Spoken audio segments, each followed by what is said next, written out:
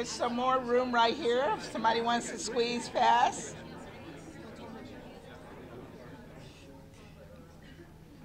Good morning. We're a huge crowd here. The United States, along with 54 co-sponsors who joined me in this statement and 40 who are here at the stakeout, believe that artificial intelligence, or AI, has enormous potential to shape our economies, society, and the world for the better, and that we must ensure these benefits extend across the globe to countries at all levels of development. For that reason, the United States, with broad consensus from member states, has introduced a United Nations General Assembly resolution for consideration that aims to articulate a shared approach to AI systems. The resolution calls on member states to promote safe, secure, and trustworthy AI systems to address the world's greatest challenges, including those related to poverty, poverty elimination, global health, food security, climate, energy, and education. We're resolved to bridge the artificial intelligence and other digital divides between and within countries through capacity building, increasing digital literacy, and other actions. Consensus on this important topic could help extend the benefits of AI to member states across all regions and development levels in support of the 2030 Agenda for Sustainable Development.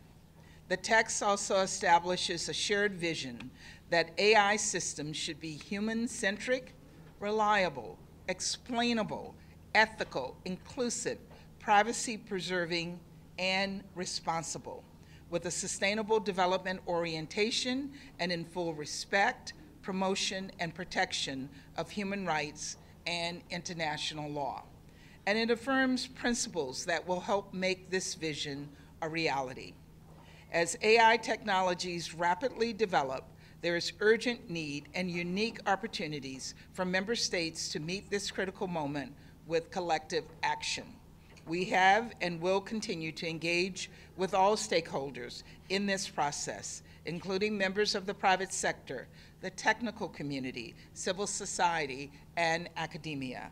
And we urge all member states to join more than 60 co-sponsors in co-sponsoring and supporting the adoption of this resolution. I would now like to turn the floor over to my colleague, Ambassador Omar Hilale from Morocco. Oops. Thank you very much, dear Linda. Morocco is pleased to be one of the initial co-sponsors of the resolution entitled Seizing the Opportunities of Safe, Secure, and Trustworthy Artificial Intelligence System for Sustainable Development that was initiated by the Permanent Mission of the United States. We are also proud to join the statement, the joint statement on this very important topic. In fact, as it has been just rightly uh, flagged by Ambassador Linda, the potential of artificial intelligence to accelerate human development is huge. At the same time, it is important to be aware of the malicious use of this technology, which can have very serious consequences for global peace and security and development. Therefore, Morocco strongly commends the United States for the taking the initiative and the lead to present a General Assembly resolution on sizing the opportunity of safe, secure, and trustworthy artificial intelligence system for sustainable development. And we firmly believe that enhancing dialogue on AA among the UN member states can help ensure that this fast evolving technology serves the common good.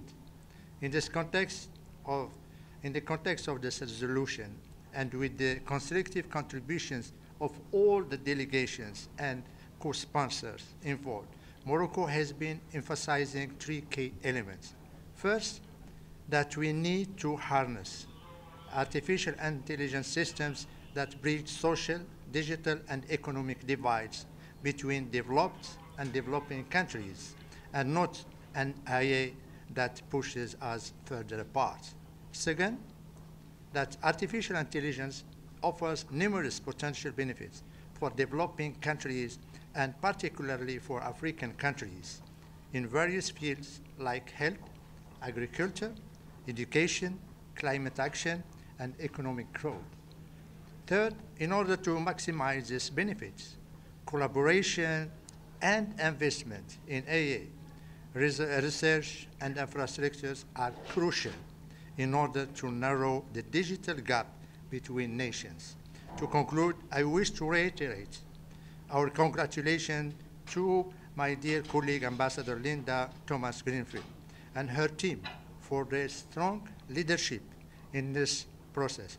We are very much looking forward to the adoption of the resolution on the 21st of March and to the largest co-sponsoring of member states. I reiterate Morocco's full support to the extremely important topic of artificial intelligence and the pivotal role of international cooperation in this field to ensure that it serves the common good of humankind. I thank you very much. Can I ask a question. We can take a couple minutes. Celia, yeah. Madam Ambassador, can't we create... Which ambassador? You. you. Can't we create a machine to have intelligent people before having artificial intelligence? Well, I am not sure I know the answer to that question. Uh, I think we have to give that uh, question to a greater power. I think we have time for one more. Good morning, everybody. Uh, Gabriel Elizondo from Al Jazeera English. Uh, Ms. Ambassador, I have a question about AI since you're talking about it today. Uh, the Israeli military has confirmed they are using artificial intelligence in targeting in their war uh, in Gaza. Do you condemn that, and will that be taken into your account uh, in this AI resolution?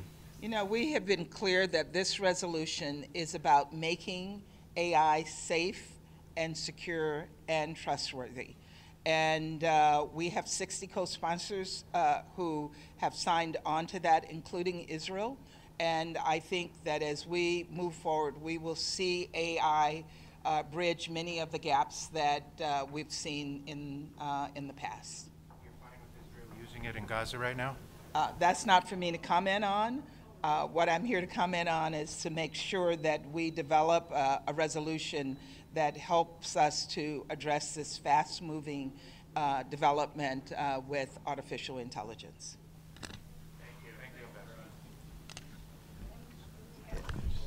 Thank you. Thank you. Yeah, me too.